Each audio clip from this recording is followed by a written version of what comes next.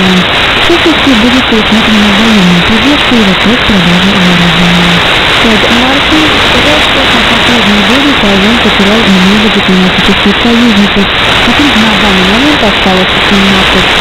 Организация США направляет примерно по всему миру на поддержку Тайвана. Пресс-секретарь президентской канцелярии Минской Россия благодаря инициативе проведали прерывную поддержку Тайвана.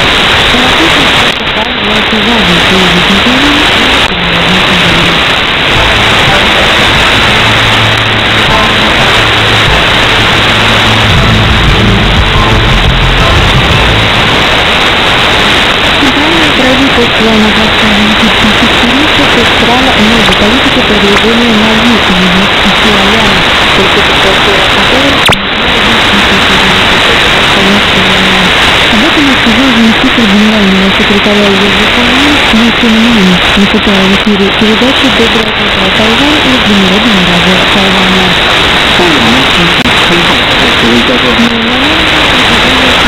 Сертификация ресторанов. На самом деле на выезде ТВ есть 24 ресторанов. ресторана. У нас также есть 33 подобных магазина, которые были сертифицированы Тайваньской информационной ассоциацией. Мы стремимся оказать благоприятный это не является терапией для 这就是中国人的实力。我们在这一个新南向政策，同时呢，有呃更多的东南亚的旅客来到花莲，呃我们给他们一个很好的一个这样的一个 环境。И добавил, что в дальнейшем правительство будет надеяться на открытие прямого авиасообщения между странами новой политики продвижения на юг и славянами. Напоминаем, что новая политика продвижения на юг, которая была объявлена президентом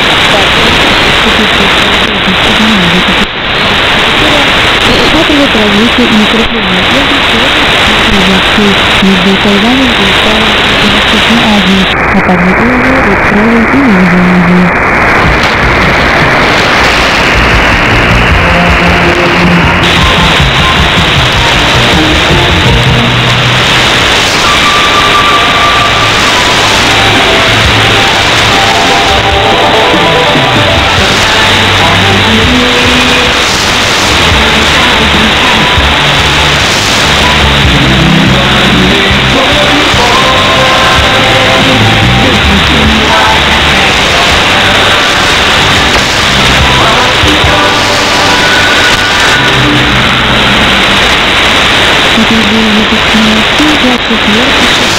сентября. Я рассказала принимаю собирание ведущая русской песни Нина Кутакова. Оставайтесь на нашей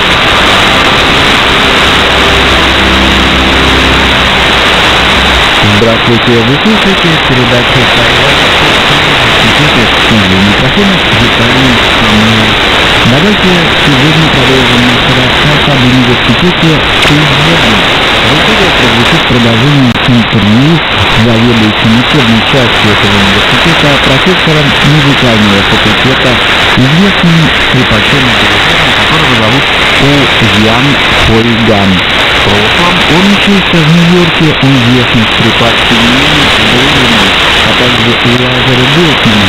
Ниже выступал за рубежом на Тайване, сотрудничал в качестве дирижера с оркестром США и накопил большой опыт педагогической работы. Сегодня банк музыкальных инструментов в университете Синьян.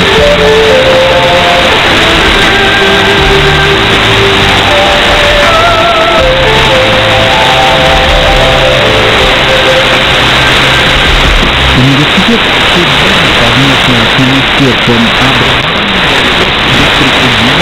образования и образовательный проект. Несколько лет назад на базе университета банк музыкальных инструментов, который занимается ремонтом и выдачей инструментов во временном пользовании целом. Давайте узнаем, что здесь все началось. Что если сказали сами Дело было так. Три года назад к нам обратились из Министерства образования. Они выразили надежду на создание банка музыкальных инструментов. Для того, чтобы в сельских школах дети могли учиться музыке и, конечно же, нужны инструменты. Это первая причина. С другой стороны, у многих дома лежат, пылятся ненужные музыкальные инструменты. Так почему бы нам не собрать инструменты и не систему обмена инструментами? Сломанные инструменты можно предварительно починить.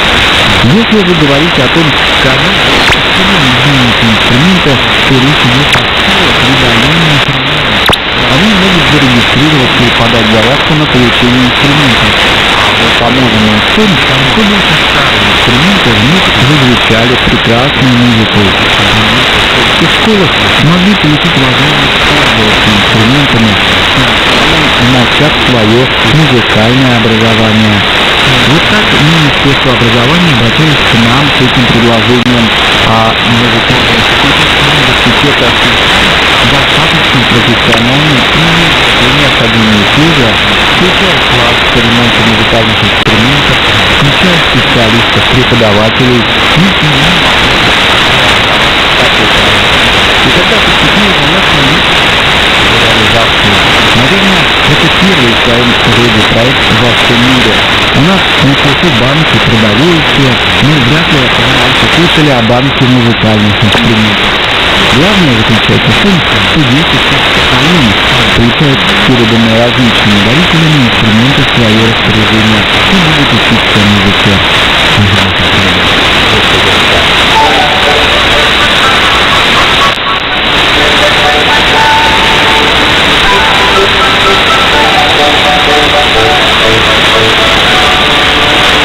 На самом деле, может считаться не только для тайваня но и для других как минимум банк музыкальных инструментов которые могут претендовать на то чтобы воспользоваться его услугами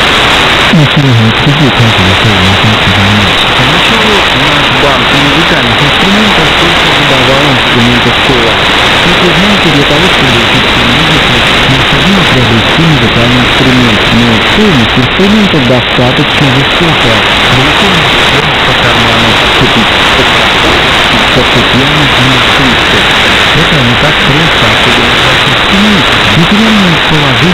Которых не такое хорошее.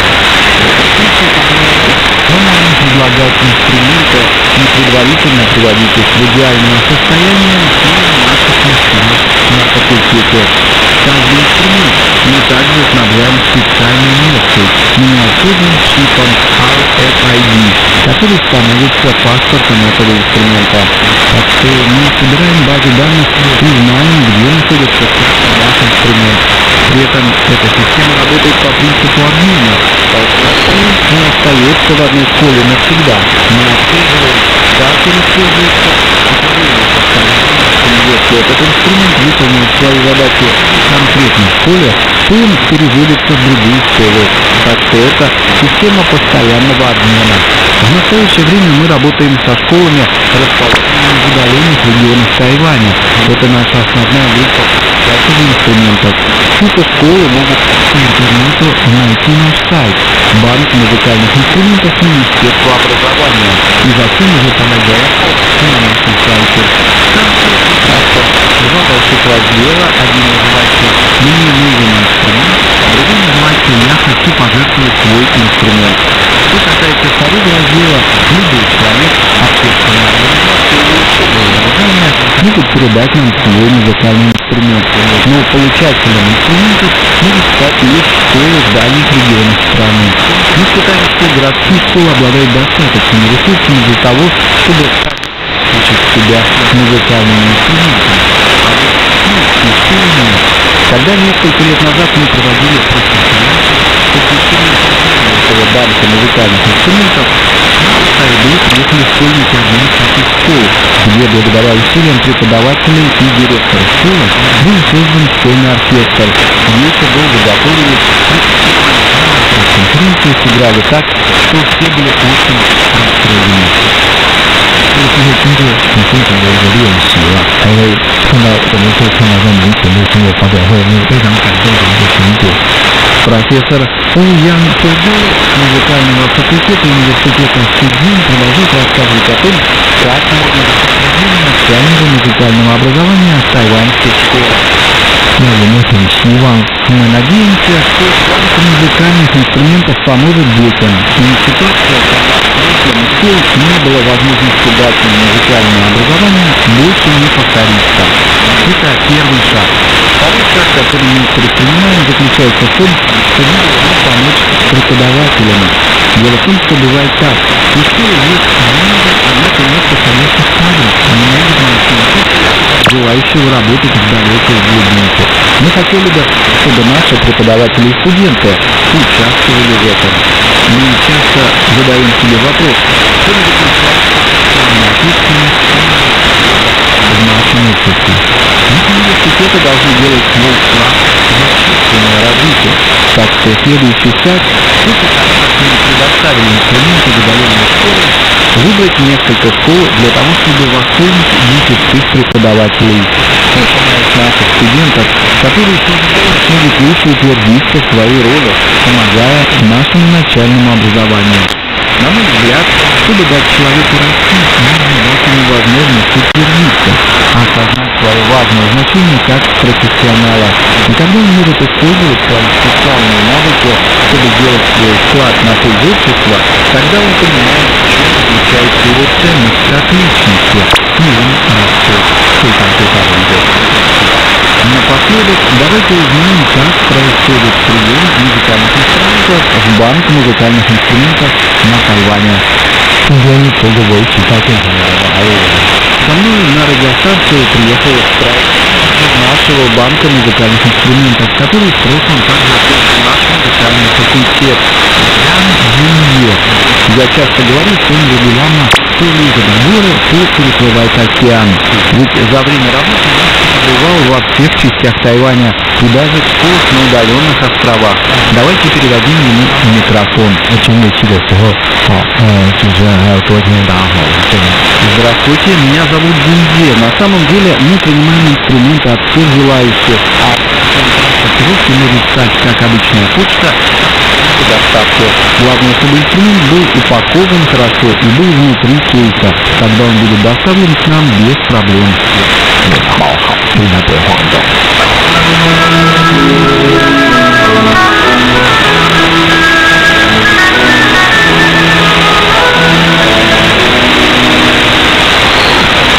Дорогие радиослушатели, на этом передача Тайваньский университет подошла к концу. В студии с вами был Виталий Самойлов. До новых встреч в эфире.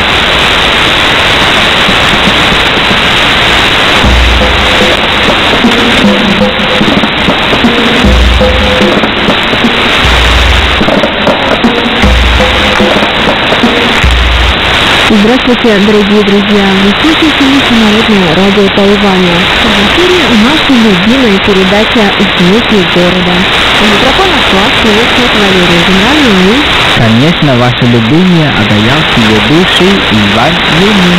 Всем привет! Сегодня мы продолжим рассказывать вам об одном из центральных университетов Тайваня, а именно о Национальном университете Тайваня. Не переключайтесь на Тайваня и оставайтесь с нами, ведь впереди вас ждет много интересного и познавательного.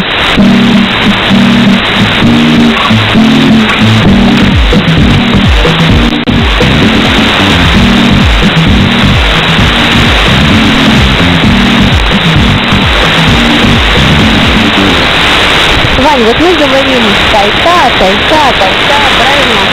А говорим, что он такой популярный, что он настолько великолепный университет, и что все студенты буквально мечтают поступить сюда. Скажи, пожалуйста, ты должно быть, что на Тайване у нас очень многие выдающиеся личности, именно выпускники Тайванского университета, Национального университета Тайваня, правильно?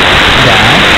А какой пожалуйста, как пример, можешь привести? Конечно, самый известный это бывший наш президент Лидон Хэй. М, а еще кто? Что? Очень много. Рук не могу вспомнить. Вот, известный певец Вейдер Вейли Ань. Действительно.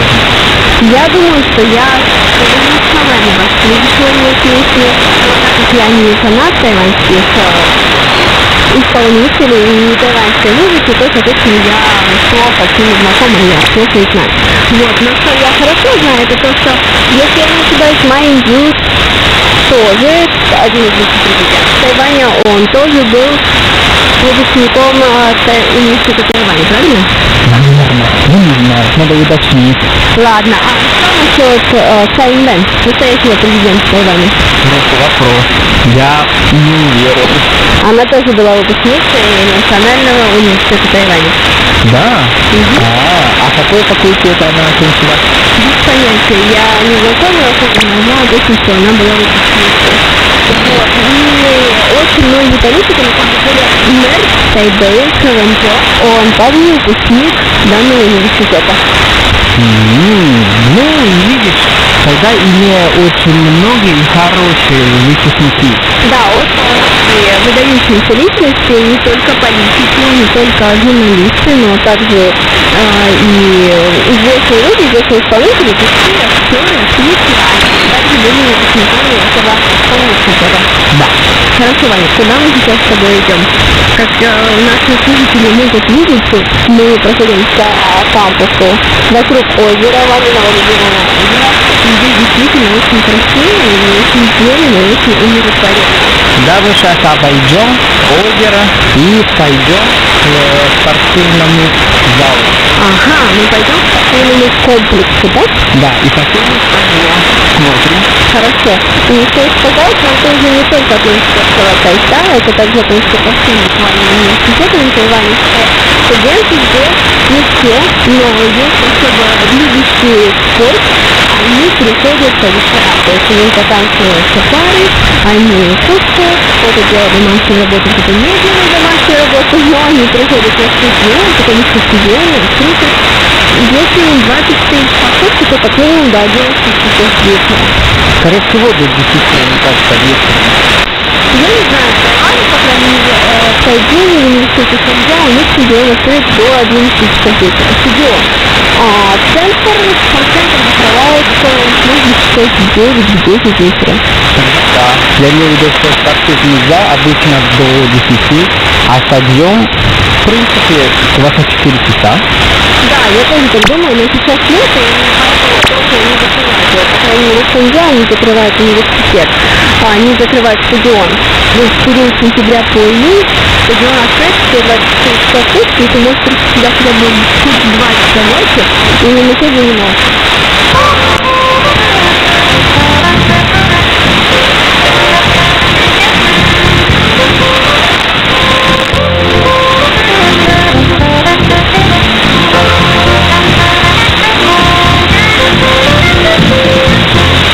Кстати, я хочу спросить тебя, ты только что сказал, что у нас в университетах очень много а, студенческих клубов, а у вас России есть так много? У нас тоже есть много есть, но дело в том, что я, будучи студент, была настолько занята, что мне было не студенческих клубов. Я помню, что я была в один, и это было связано с тем, но я там продвигалась совсем недолго, потому что состояние не позволяло этим заниматься. Вот. А, да, клубы есть, но их мало. И Потому что, на мой взгляд, на Тайване в тайваньских университетах клубов действительно очень много. У вас есть какие-то специальные здания, где именно находятся клубы? В университете Тайваня именно так, что там отдельное здание, и каждый день, каждая маленькая комната, это принадлежит отдельному клубу. И там, как я уже сказала, это музыка, это танцы, это песни, это каллиграфия, возможно, это фотография, это косплей, то есть э, когда студенты, люди наряжаются в костюмы их любимых персонажей аниме, Да. и они выходят, и видят такие парады случаются. Вот, и это огромное множество, и я этого никогда не видела у нас в университете. Понятно. Ваня, в каком клубе ты состоял, когда ты был студентом? Я сначала участвовал именно а, в клуб, учу в клубе тенниса. Вау, и как? Успешно? Нет, потому что потом я стал лен, и больше не ходил. Какой ты откровенный ты сегодня. Хорошо. Вань, а когда ты был студентом, какой самый популярный клуб был у вас в университете? Мне кажется, это клуб был а, гитаре, потому что все а, любят гитару, играть на ней. И самое главное, чтобы петь. Вот так вот. Я знаю, у меня одна, одна из моих студентов, которая преподавала английский язык, она даже сходила в клуб, где преподавала игре на флейте. И потом, играли оркестром, и этот оркестр потом выступал на каких-то вечерах в университете. Ну да, так, так, ну да, такие группы тоже есть. Кстати, как ты сказала, на самом деле в тайваньских университетах очень много, как тебе сказать, оркестров духов- э, духовых. И достаточно популярно, если играю на инструментах и приготовиться к концерту и к э, конкурсу. Да, тоже верно. Ваня, скажи, пожалуйста, а вот эти клубы, каким-то образом это засчитывается в твой диплом или в твою успеваемость, в твой университетский личный рейтинг, а что ты участвуешь в разных и твоим оценкам, как каким-то образом это комбинируется или нет? Или университет абсолютно все равно, занимаешься ты в клубах или нет? Я считаю, это уже зависит от твоей воли. Если хочешь участвовать, пожалуйста, если не хочешь, это тоже нормально. Потому что это уже не как в школе обязательно что-то, какой-то клуб ходить. М, интересно, потому что в некоторых университетах, по крайней мере, заслуги в спорте очень сильно учитываются. И если ты играешь а, за университетскую команду по волейболу, скажем, и ты принес, там, ваша команда принесла первое место по национальным соревнованиям по волейболу, то это будет учитываться каким-то образом. Вот, Вань, как я тебе и сказала, что очень многие студенты после пар приходят сюда, а сегодня суббота, и некоторые студенты, посмотри на площадке, особенно в баскетболе, на волейболе, забиты, просто забиты людьми. Семь студентов, здесь нет никого лишнего, семь студентов. Кстати, когда я учился в университете, я не такой активный был. Как не такая активная, и для меня выходной был никакого университета я туда не пойду. Вот, а здесь наоборот, здесь люди, студенты пользуются теми возможностями, которые им даны, и я считаю, что это очень даже правильно, потому что они проводят свой день с пользой. Да, особенно с друзьями, встречаться, их вместе играть, заниматься каким-то спортом вместе. Мне кажется, это тоже очень важно. Верно. Социализация и спорт это все, что возможно, все, что нужно, в принципе, взять, когда ты учишься в университете. А Помимо, конечно же, знаний.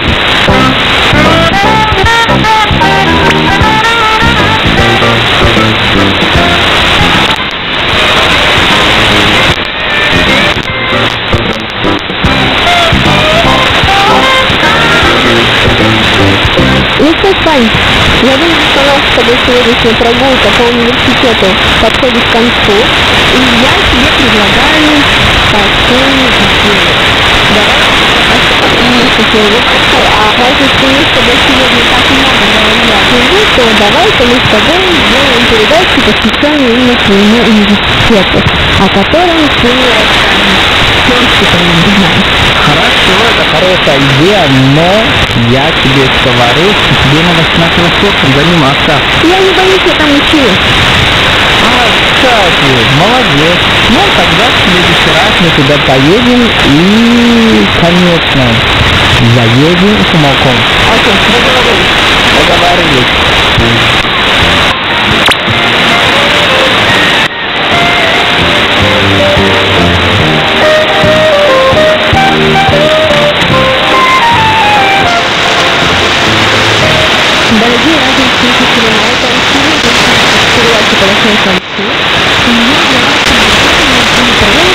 Всегда, ваши любимые ведущие Валины. и Валерия Зимана. Скоро встречи. И всем успехов. До скорой встречи в следующем эфире. Пока-пока. Пока-пока.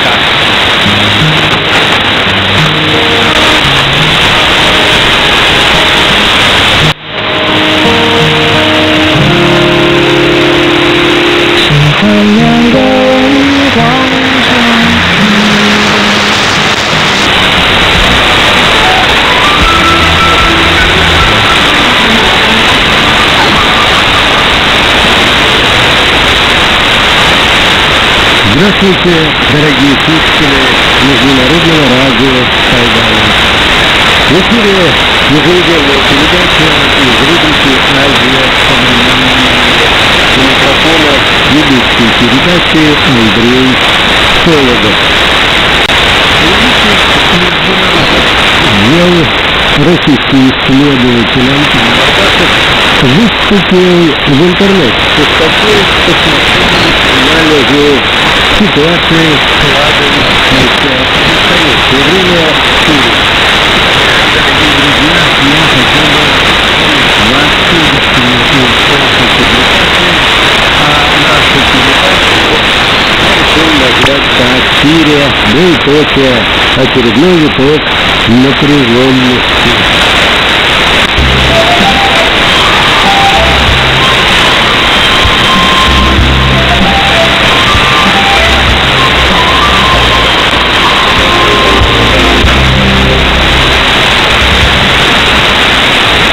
Правительство Асада Кастер продолжает переброску армейских подразделений и отрядов ополчения в район зоны без эскалации Идлиб, который министр иностранных дел России Сергей Лавров назвал последним очагом терроризма в Сирии.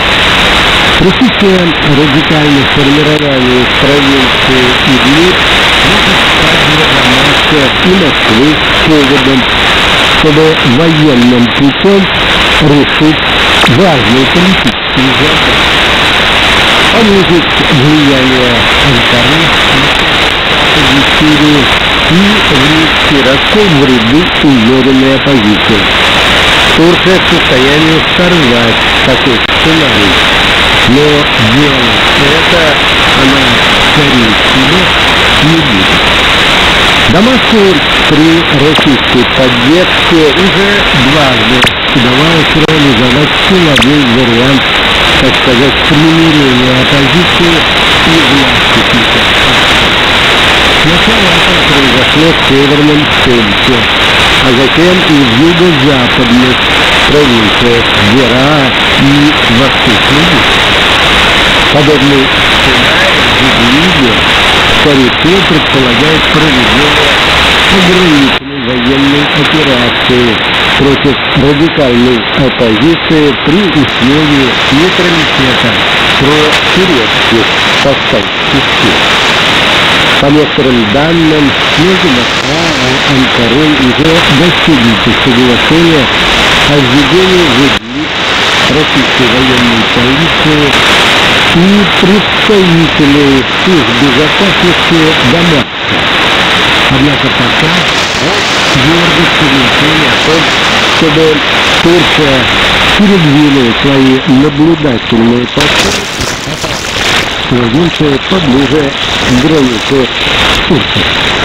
Москва, которая позиционирует себя в качестве гаранта территориальной целостности Сирии, и главного борца с терроризмом не может открыто признать зоной влияния Турции, хотя и заинтересована в развитии турецко-сирийских связей. Дамаск, со своей стороны, не может мириться с наличием протурецкого анклава на своей территории. Тогда или нужно продемонстрировать самостоятельность preghiere che con tutti.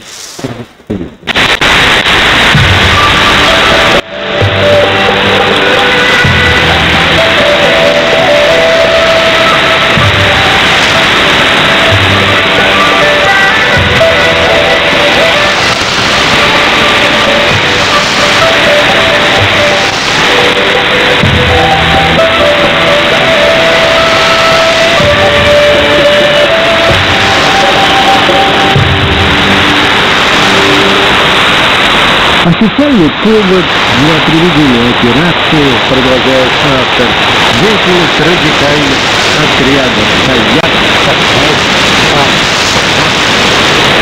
который 2017 года растворилась в Вебхат Аль-Нусра, сирийский филиал Аль-Каиды. Эти организации признаны террористическими в России.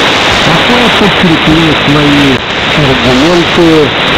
Поскольку группы кораблей на Москвы в Восточное Средиземноморье и разоблачением кажется готовящейся провокации химическим оружием. По данным российских военных, его уже полкали боевики террористов, подготовленные одной из британских частных военных компаний. Впрочем, отмечает автор публикации, приведенная Минобороны названная компания вызывает вопросы, поскольку еще в 2015 году она объединилась с другой военной компанией и существует в настоящее время уже под новым названием. В свою очередь, оттолкнуть знает, что бочки с отравляющими веществами уже завезены и переданы правительственным силам из Дамаска. Официально Москва впервые упомянула о новой организации террористов лишь спустя полгода после ее образования, когда в августе 2017 года начальник главного управления Генштаба мира полковник Игорь Коробов сообщил, что рассмотрение Сирии образовалась новая группировка террористов численностью более 25 тысяч человек, с ней необходимо бороться. С тех пор противостояние с этой организацией стало основным предлогом для проведения силовых операций и бомбардировок во всех зонах деэскалации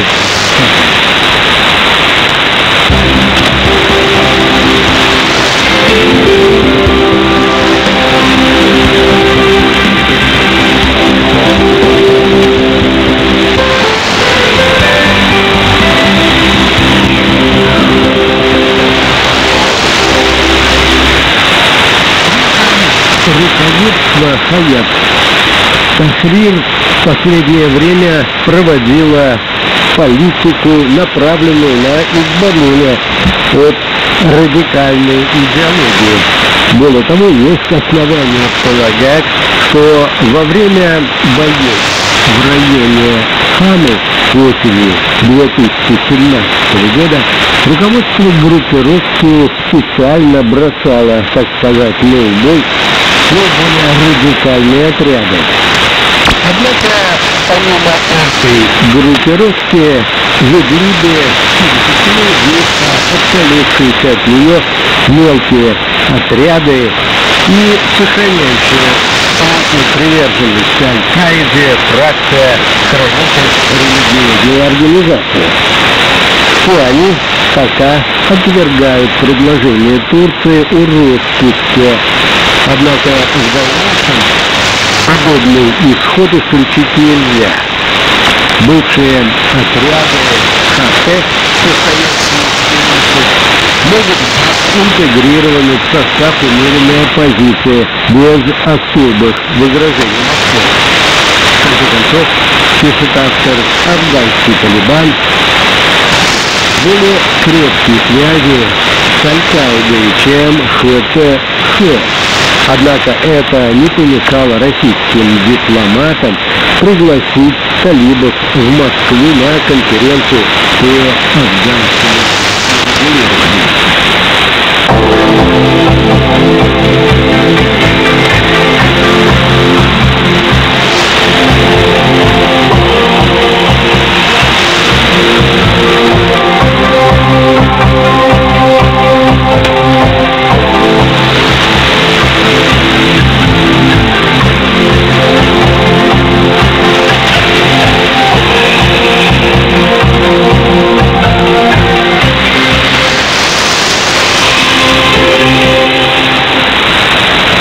Однако проправительственные силы, продолжает автор, не смогут такими вооруженными отрядами почти трех миллионном Идлибе.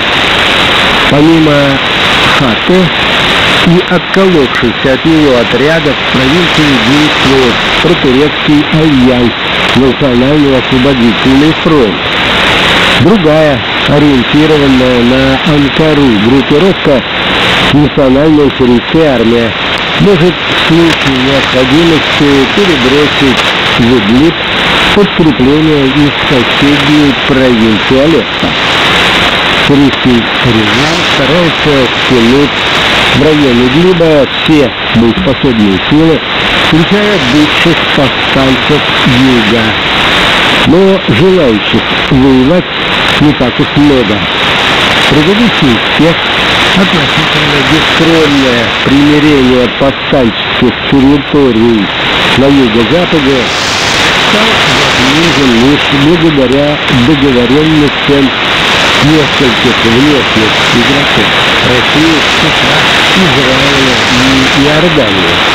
В результате часть отрядов оппозиции стала выполнять роль местных сил самообороны, часть была включена в состав проправительственных организаций. Поэтому только совместных действий Москвы и Анкары и, возможно, Ирана могут решить углиться уравнение. Только могут согласиться с наступлением территории на западе и юге. И для этого есть целый ряд причин. Анкаре сложно психологически с радикалами в Идлибе.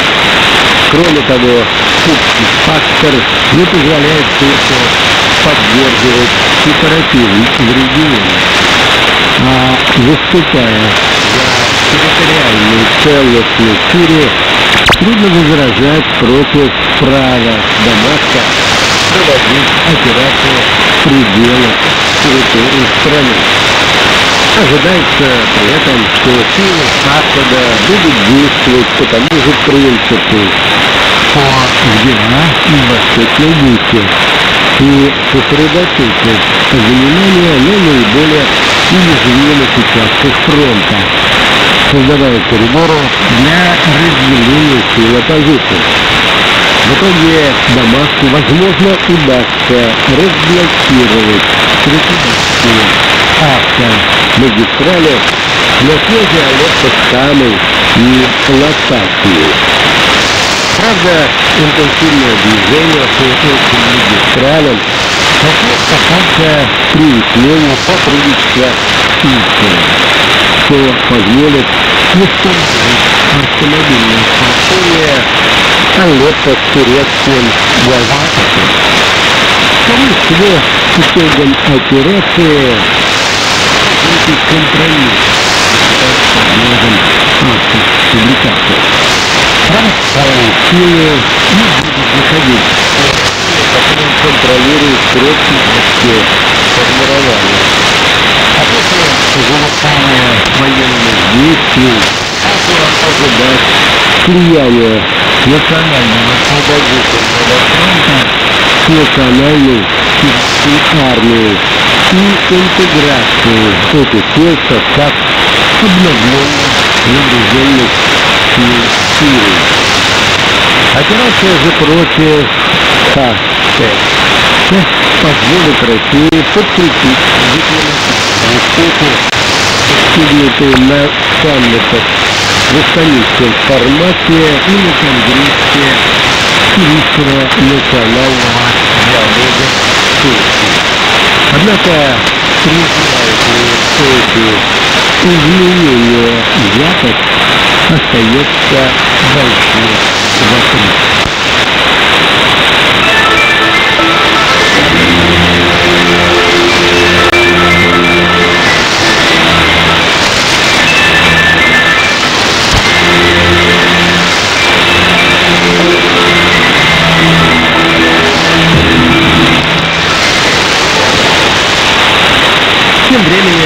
Россия сосредотачивает облаке сирийских берегов в Средиземном море серьезные военно-морские силы.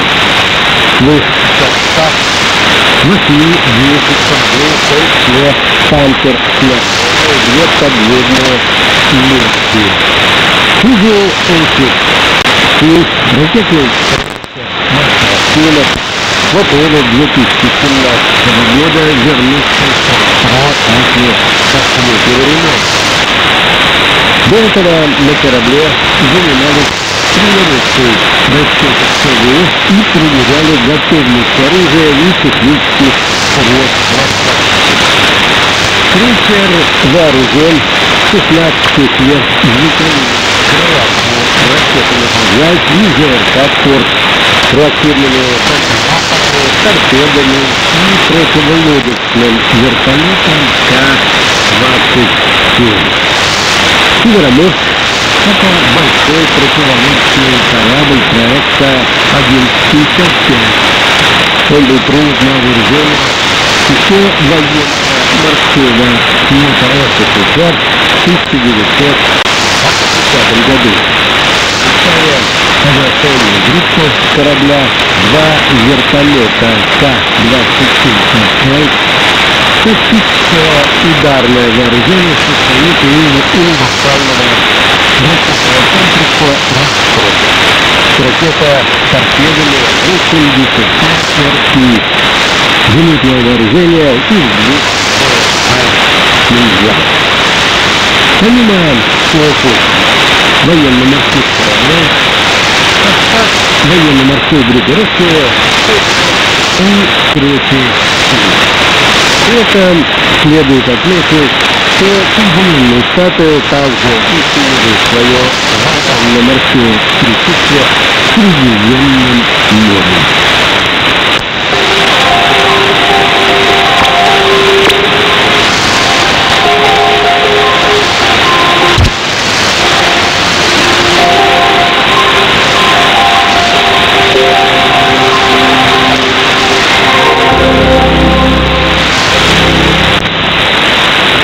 Этом, дорогие друзья, я завершаю нашу передачу. Стоял Андрей Солидов. Всего вам доброго, на наших волнах.